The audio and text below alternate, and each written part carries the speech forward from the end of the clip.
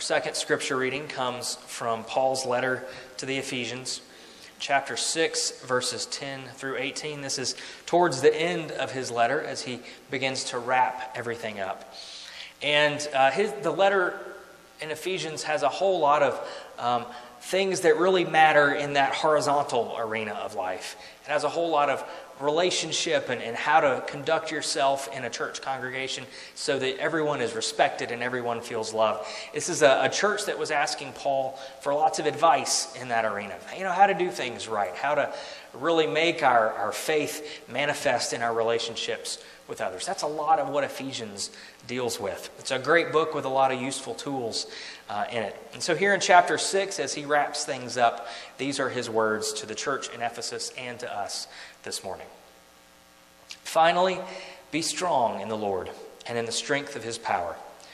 Put on the whole armor of God so that you may be able to stand against the wiles of the devil.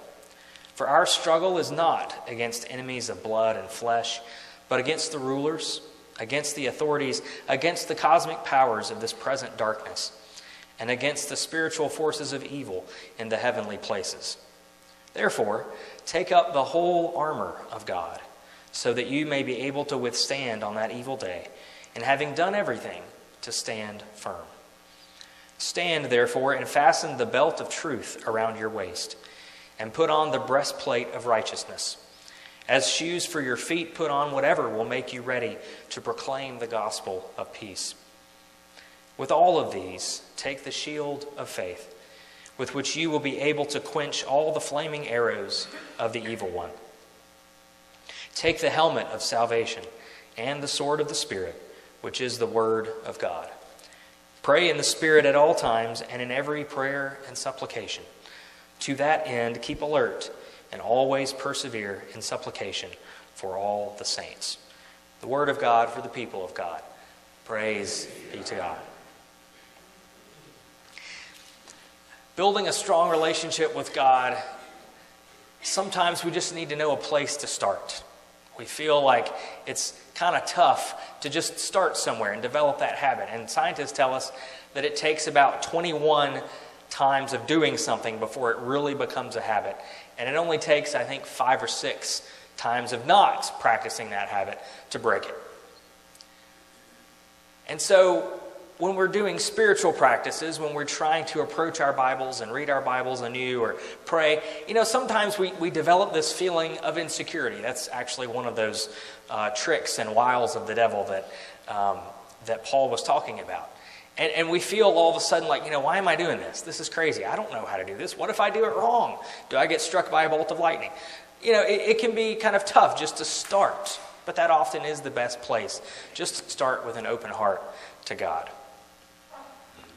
Yesterday, some of us uh, went to a, a, training event at first uh, at Ocala First Methodist, uh, and it was on this thing that, that the district is emphasizing and that uh, we've been doing a little bit of. It's not a church growth strategy. It's not a, uh, a crazy thing, really. It's just uh, it's called Fresh Expressions, and it's about really teaching us uh, and, and, helping us learn from each other how to uh, rethink the way that we approach doing church.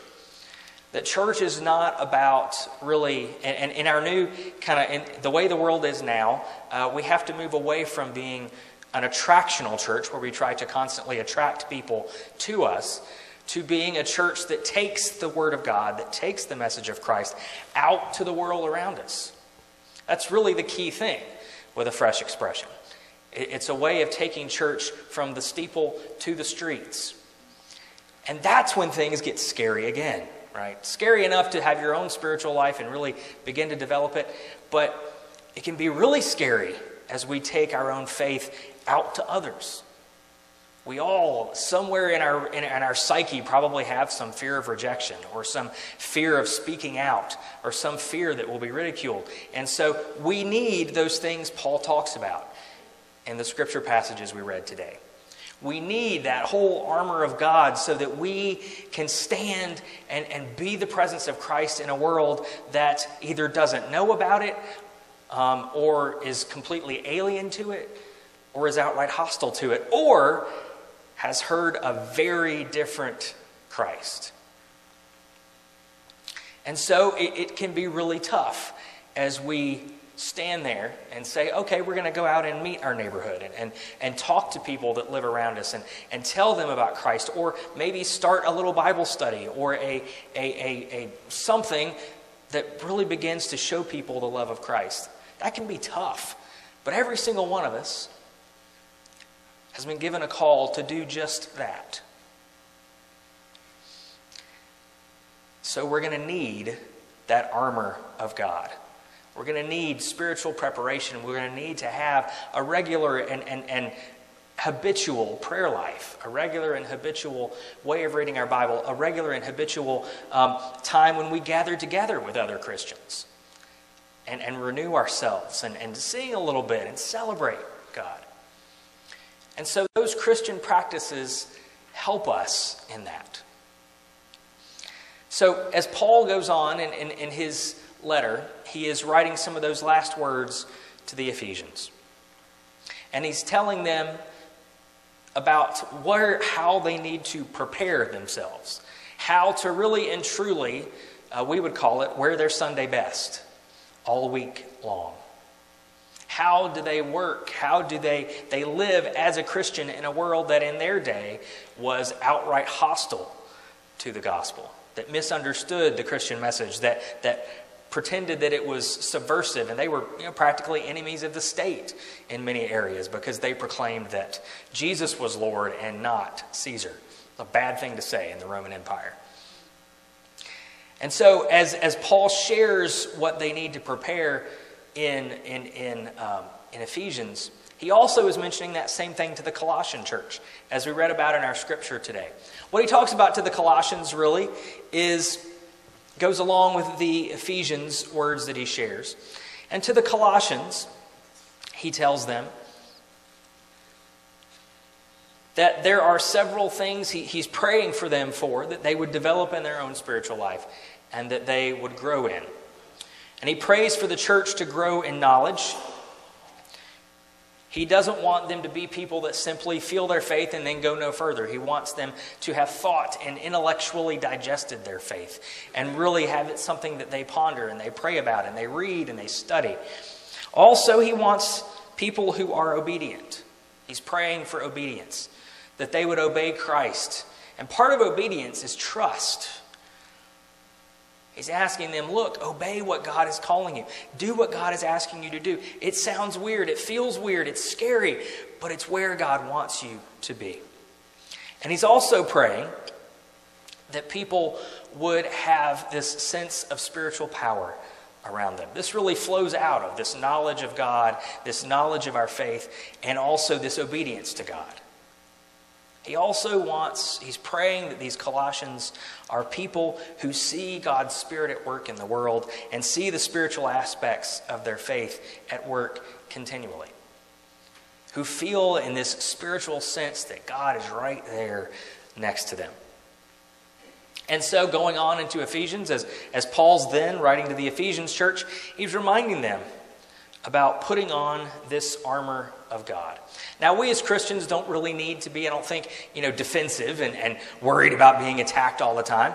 Um, but what we need to be is we need to realize kind of how we need to um, prepare ourselves for that call in the world. How we, God has given us permission to go out and tell the world about the gospel of Christ, to go out and show people love and show people God's presence is with them. And so he tells the early Ephesian Christians that there are some things they need to know. The first thing he, he delineates for them is he reminds them who their enemy really is. That's pretty important for us. Sometimes we can get a little confused. Sometimes we disagree with someone and we think that they're being hostile to us and we feel attacked and we start to defend ourselves against that supposed enemy. But Paul reminds them, and this is in the face of a world that was really hostile to them. He says, We do not fight against enemies of flesh and blood.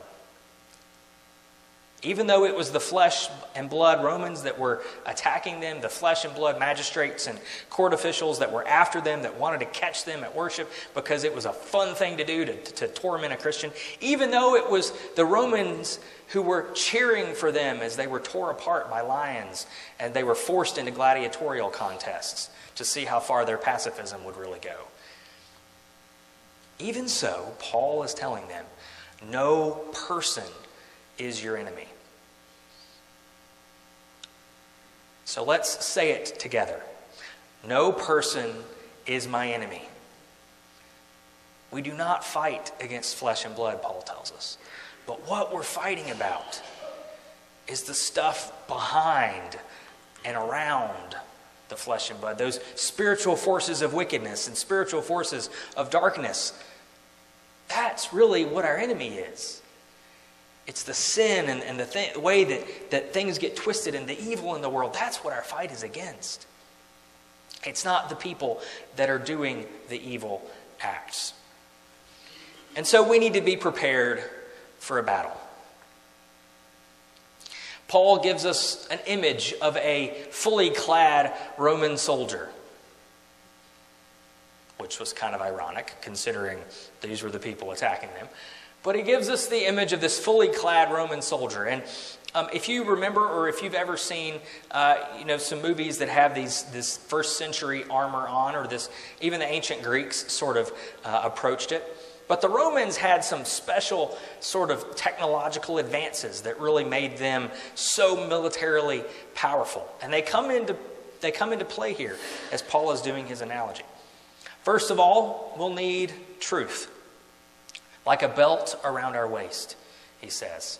And some translations render this, you know, gird your loins with truth. The belt is what keeps all the stuff together. If you don't have a belt, you just have a flowing gown like this. This isn't a good suit of armor.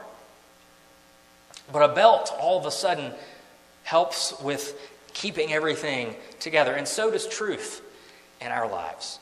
The ability to know what is true and what is not true is very important in the life of a Christian. The ability to know what is truth and what is not truth will help make all the difference. It will help keep our, our hearts and our minds together as we say, wait a second, no, this is what God's will is, and this is what God's will is not. If we know the truth, it will indeed set us free. He also mentions righteousness like a breastplate. Righteousness is what guards our heart. It's what, it's what creates a sense of peace. And in the Roman days, it was not a full, you know, we, are not looking, we're not talking about medieval knights, but they did have a, a chest plate right over their bodies that protected their hearts and their internal organs. And it was that, that sense of, of power that you could stand there and know that the biggest part of you that was the easiest target, your heart, spiritually and physically, would be protected. He also mentions shoes. Now, these could have been the kind of hobnail boots that the Romans wore. Uh, this could have been a lot of other things, but he actually gives us some flexibility here. He says, Take whatever you need so you can proclaim the gospel of peace. Now, shoes are not a military weapon. You don't, you don't attack or defend yourself with your shoes, but shoes help you go. They help you not get your feet injured. They do defend a little bit. But he says, take whatever you need so you can proclaim the gospel of peace. So this is not simply a standing still, this is a well planted sort of standing so that we know that God's got us and that we are stable in our faith and in God's love. The next thing he mentioned is faith and trust. This is probably my favorite image. Um, the faith and trust that he mentions is like a shield. And the word that he uses, that this word for shield, he wasn't using the, the shield as that small little round shield that was kind of more mobile. The word that he's using is the word that described what really made the Romans so different from the rest of the world. It was that shield that you see sometimes still in, in riot police, where it's this full body shield. And the way you advance is simply to move forward. And you create this human wall. Now, the greatest threat to that, though, is these flaming arrows that Paul's talking about. You know, you're standing there in the truth and, and you're, you're trusting and you have your shield out. And then there's all these arrows flying around and they can get behind the shield. So the Romans had a special use for their big shields, and it involved being together. If you were, if you were alone all by yourself, that big, huge shield was actually not an asset, it was a bad thing to have. But when you were together with others, it made all the difference because not only could you plant your shield in front of you to protect yourself and your, fo- your mates behind you, but the Romans also used to gather the shields up and they would lay them on top of each other. So you had a wall going forward and then you had the wall going back, and no archer's arrows could hardly even get to it. You could put those shields up high and they would almost build this wall to, to, that was impenetrable by these flaming arrows that they would face as they went around the world and conquered other people. So, this is not just a, a kind of faith and a kind of trust all in ourselves. It's a faith and a trust that that friend next to you is just as important as you are. And that you are just as important to the whole health of the whole unit or the whole church as anyone else is. Because I guarantee you, there, were, there was nobody standing there who didn't think that their shield needed to hold up for their own safety and for the safety of others. Just as in a church, no one is more important. We all have a special call. Whether you're a pastor who has a certain special call or whether you're a layperson who has a certain special call, none of us is any more or less important than the other. Just like that wall that those Romans had because of their faith and their trust in their brother. Paul is encouraging these Christians to have that same kind of faith and same kind of trust. Continuing on in, in his list here, we see Paul talking about a sword. Now, this is often misunderstood, actually. The sword, sometimes we think, oh my gosh, now they've got an offensive weapon. But the sword, actually, in this passage, the word that he uses for the sword is this is the small kind of it's it's a really more of a dagger. It's not we're not talking about a long broadsword, but more of a dagger that the Romans used for close combat. And this, this dagger and this shield was not only an offensive weapon, but it was also defense. It allowed them to move around better. They could parry a thrust from someone else and move around and have their shield there. It also could poke out of the little cracks between the shields. It was a very active weapon, and it was not the size of the sword that mattered, really. It was more of the team that was using it all at once, all together. The Romans were incredibly disciplined. They were incredibly just together. They knew all the moves together, they, they moved together, and they knew what they were doing, and they knew their purpose, and they knew their call. But this sword of the Spirit that he's talking about, what he tells us is the Word of God, but he does not mean the Bible. Keep in mind, first century, second century, really until the 15th century, Christians did not have a, a personal Bible in their homes. So when he talks about carrying the Word of God with you, he's not talking about carrying your Bible, he's talking about carrying the story with you. Carry the Word of God he's talking about as you look at the context and how he means it, he means carry the gospel with you. That is that sword that can cut through the mess around you. That's what gives you the piercing truth you need to tell people about God's love. Don't worry about having your own words. Don't worry about, about what am I going to say? What am I going to do? What if I get asked a question? What happens? The best weapon we can have against that kind of self doubt and that kind of worry is this sword of the Word of God because when we know the story, when we know about God's love, and we know about, you know, the things that Jesus did, we don't have to worry about getting the story exactly right. What we have to know is about how to transmit God's love through that story. Maybe we are outside spreading God's love and, and we're volunteering as a chaplain in a NICU ward or for a mother who's just had a baby. Maybe we feel God calling our hearts to, to talk about that precious birth in Bethlehem 2,000 years ago. And we might share our own story or share that story with someone. We don't have to worry about getting all the details right. It's the story that matters. Whether we say Quirinius or Quirinius, it doesn't matter. What's important is that we tell them about God's love through that story.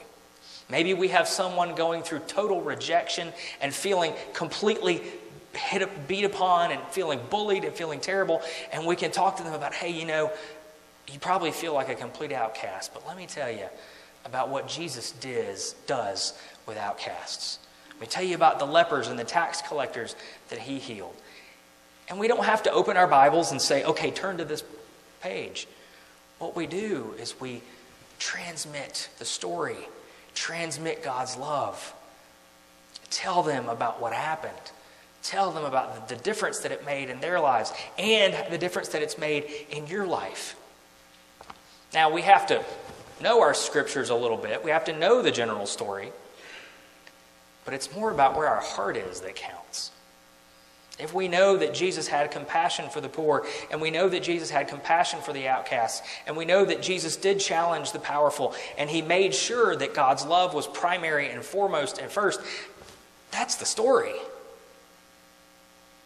If we forget a detail that's in the Bible here and there, God understands.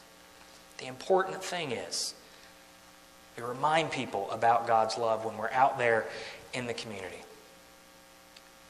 There's a, a great thing that goes on out of Wildwood UMC. Um, and, and, a good friend of mine, and actually he worked here for a summer, Michael Beck, um, has this thing he calls burritos and Bibles. Started with a relationship with the, um, the, the, owner of this Moe's in Wildwood. I don't even know where exactly the Moe's is, but down there in Wildwood, the villages area. And he just started a Bible study in this Moe's. And people walk in, people walk out, people are coming in line and they see this whole group of people studying their Bibles. And, you know, sometimes they, they're interested and they want to know more. Sometimes they, they scoff a little bit. But always they see Christian life being practiced there in that setting. Some people have never been exposed to that. Some people have never really seen that kind of practice happening. Maybe they overhear some things. Maybe they, they go, oh, wow, these, these guys are talking about stuff I didn't know Christians talked about. But they take that church and they take God's love and they move it out of the church walls. Mike also, uh, his church, and this is not just Mike doing these things, because the important thing about Fresh Expressions is the pastor is not in charge. The pastor is not in charge. I hear nobody saying amen, but it's okay if you're, you're feeling it in your heart. Pam's like, say it again, say it again. It, it, it's not about any idea I have. And I give you permission. You want to start a Bible study? And, and Mike has Mike's church, excuse me, Mike's church has done this. They have a, a Bible study in a tattoo parlor. People are getting inked while they're studying the Bible. Yes, it's possible. And so, all of these crazy things that maybe, you know, maybe you have a particular vision, something that you've thought, now that's too crazy to try. I give you permission to try it. Put on that armor of God, prepare your heart and prepare your soul, but know that God has your back. Go with that crazy idea. I give you permission. I'm not in charge. God is in charge. God is in charge of everything we do. If there's some crazy vision, a crazy picture that you've had your whole life, and you say, or, or your whole spiritual life, and you think, God, that would be, that would be amazing, but uh, the pastor would never go for it. I give you permission to do that. If you'd like advice, resources, help, I'm here. I'm here to be a resource, but I'm not in charge. And that's the great thing about these fresh expressions. Mike, Michael Beck did not start any of these things. He empowered people to go and do them. He was involved in them in some way, yes, but he did not issue directives and say, hey, y'all go do this. Hey, y'all go start this. And that's the great thing. Because it's not the pastors of the church that really make the difference, it's the people of the church that do. It's all of us standing together just like those Roman soldiers. United in purpose, united in love, united in will, and united in trust. Keep in mind, those shields represent us extending an arm. It takes trust. We're not hiding behind things, we're extending an arm. And so the shield of faith is important. That's what helps us. That faith and that trust in God helps us extend our arm. And as we tell people about the message, when we use our sword, that means we open up. To use your sword, you have to move your shield aside. Every soldier probably feared that part of the battle just as much as many of us, and I know just as well as you, fear that opening up to others about our faith. Keep in mind, I grew up Episcopalian. Evangelism is a four letter word to us. But the one thing, and I'm just telling you my story, the one thing that told me to take the step to be a pastor, to take the step to be outward in my faith, was God simply telling me, Look, if you trust me, I'll give you what it takes to do it. And that's the word that I heard from God, and that's the word I, I issue to any of you out there. God will give you what it takes to do it. And we'll bumble our way through it, we'll make some mistakes. God will go, No, that's not what I meant, but then we'll correct ourselves and learn from it. That's all right. That's why there's grace. But part of what I hope you've heard in this sermon series is that sense of yes, there is preparation that we need spiritual practices and a, and a, real dedication to forming those habits. You heard Beth say there's some funny things that we can do as mnemonic devices to help ourselves remember. I had not thought about putting my shoes under the bed uh, like that, but that's actually a pretty good idea. I'd go, where are my shoes? Oh, they're under. I can never find my shoes. Where am I? You know, there's they're right there. Whatever it takes, even if it is a little crazy so that we remember to have God out there first thing in the morning, in the middle of the day, and the last thing at night. And then this is the last verse that Paul tells us in Ephesians. He says, Pray in the Spirit at all times, in every prayer and supplication. To that end, keep alert and always persevere in supplication for all the saints. He says supplication twice in those verses. Be people of prayer. Even if you feel like you're not getting anywhere with your prayer, keep doing it.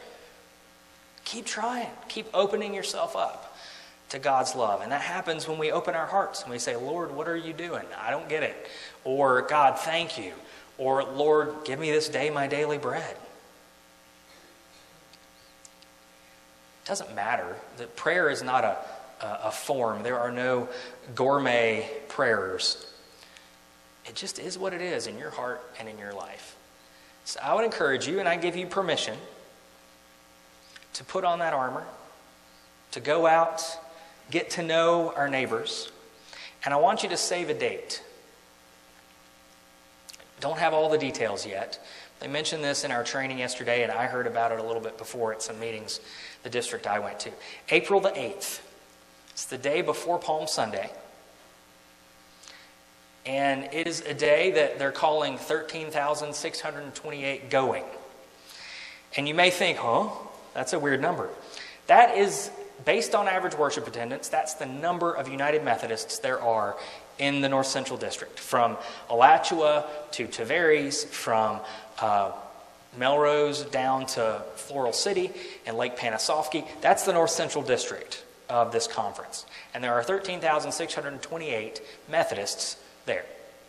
If we all got out at once and got out to get to know our neighborhood in some way, and this is kind of an open format, you know, the thought is what kind of difference could we make? Not just for our churches, we certainly want to reach out and grow with people that are here, but also just for the kingdom, just for God.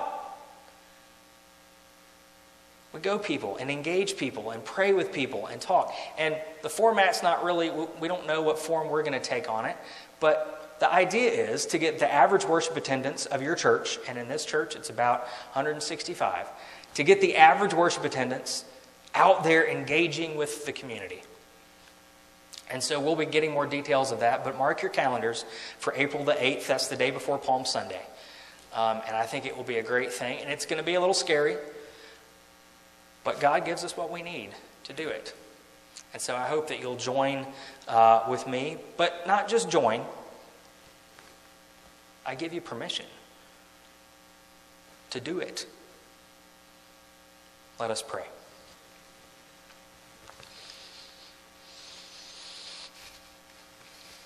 Lord, you remind us through your servant Paul